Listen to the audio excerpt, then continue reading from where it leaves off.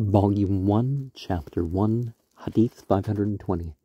Narrated Aisha, Allah's Apostle, used to offer the Asr, late afternoon prayers, at a time when the sunshine was still inside my chamber, and no shadow had yet appeared in it. The references to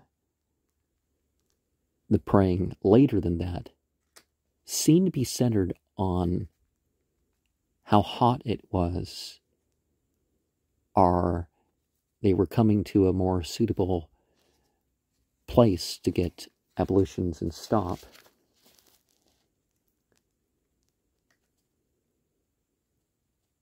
Philistini, Palestinian, um, because of its Aramaic, Northern Semitic roots, I kind of don't like that term, and you don't find Prophet Muhammad calling Muqaddasa, the Holy Land, Palestine.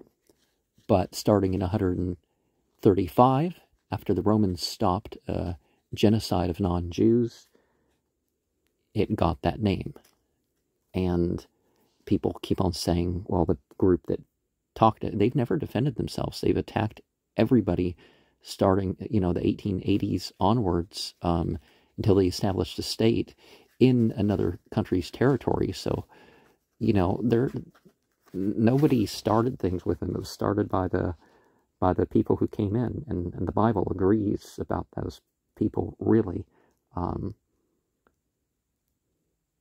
the Roths and the Rockefellers basically took over most of the churches in the past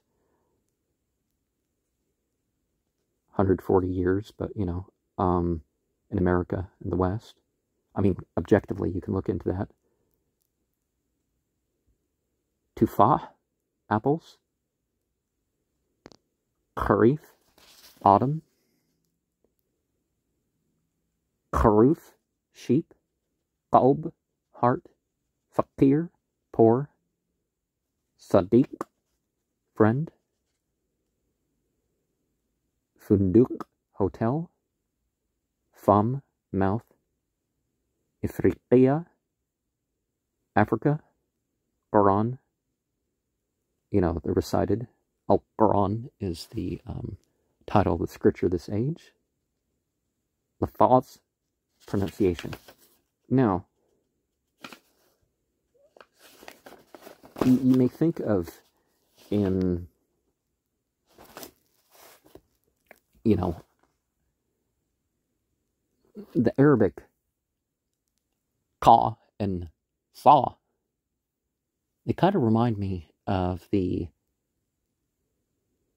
female and the male determinative in, you know, the ancient Egyptian. You know, the dot the ra is, you know, kind of reminds you of the seated figure with the beard and the seated figure without the beard the ka. I mean, it has nothing to do with that, really, I don't think, but um, you may want to look at, let, let me know if there's some more likelihood of the one gender versus the other.